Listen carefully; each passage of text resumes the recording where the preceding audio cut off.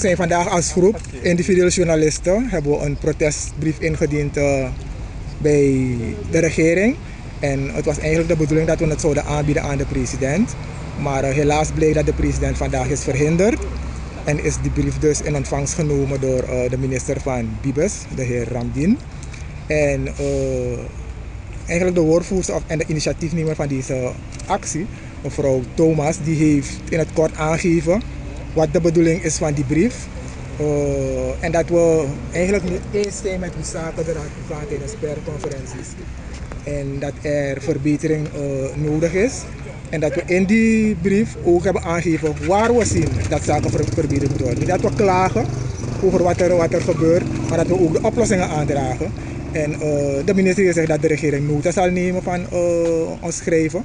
En binnen afzienbare tijd zullen we een reactie krijgen. Dus dat is het voor nu. Wat is, wat is, binnen, wat is binnen afzienbare tijd? Nee, dat heeft hij niet aangegeven. Hij heeft alleen maar aangegeven binnen afzienbare tijd. Dus wij hopen dat uh, het inderdaad binnen afzienbare tijd is. Want als binnen afzienbare tijd er geen verandering komt op die persconferenties, denk ik dat we dan uh, als groep toch wel andere stappen zullen moeten ondernemen om om, om te garanderen dat, uh, ja, ik zou niet zeggen wat we eisen, maar dat er toch een zodanige werksituatie wordt gecreëerd tijdens persconferenties. Dat we naar behoren ons werk kunnen doen, ons niet beknot voelen en we ook niet beknot worden. Dus dat is eigenlijk de bedoeling van deze actie. En hoe, hoe, hoe serieus denkt u dat u nu genomen bent? Uh, het feit al dat we op, op heel korte termijn de president hebben geïnformeerd dat we ontvangen wilden worden om, om een brief in te dienen hij heeft onmiddellijk gereageerd. Het was binnen een dag heeft hij inderdaad ingestemd. En al de volgende werkdag konden we uh, terecht op het kabinet. Helaas, hij is vandaag verhinderd, waardoor hij het niet persoonlijk in ontvangst heeft, heeft kunnen nemen. Welke verbeterpunten hebben jullie voorgesteld? Nou, één, sowieso iets waarover iedereen klaagt tijdens persconferenties zijn de lange inleidingen van, van de president, de ministers en, en ook op andere persconferenties van de regering is er heel weinig ruimte eigenlijk voor, voor de pers. Er worden lange inleidingen gehouden, lange antwoorden, lange presentaties. En op het moment dat de, de pers aan het woord is om vragen te stellen, dan worden we daar beknot. Want dan dringt de tijd en dan moet de president weg of dan moet de minister weg. Dus dat moet sowieso veranderen. Kortere inleidingen, zakelijke persconferenties, waardoor we niet echt drie en vier uur lang op een persconferentie hoeven te zitten. Binnen afzienbare tijd zie ik voor de eerstvolgende persconferentie.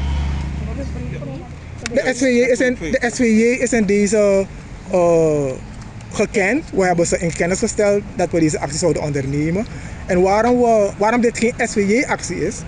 Omdat er niet alleen SVJ-leden betrokken zijn. Volgens mij is het, is het meer niet SVJ-leden zelf.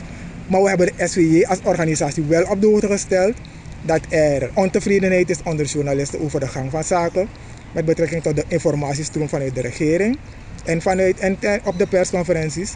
En dat we deze actie zouden ondernemen. We hebben ze schriftelijk op de hoogte gesteld en ook mondeling. En uh, ze hebben gezegd dat ze zich ook achter die acties scharen. En te zijn er tijd als, als ook van hun kant zeg maar, um, acties nodig zijn, dan, uh, dan zijn die, is, is het bestuur van de SVI, de organisatie, gereed om ook in deze actie ondersteuning te bieden. We moeten als beleidmakers soms zijn, blij zijn met die kritische vragen. Het houdt ons scherp. Ik heb vanmorgen een workshop hier gehad. Werken naar transparant bestuur. We hebben geen ruimte voor ja-knikkers. Ja?